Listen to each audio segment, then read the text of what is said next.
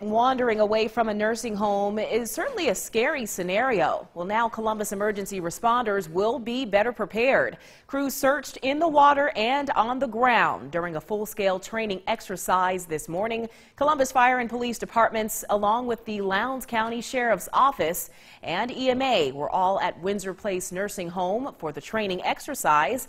Now, this exercise centered around a missing resident. Healthcare facilities are required to hold annual full scale training missions with area first responders.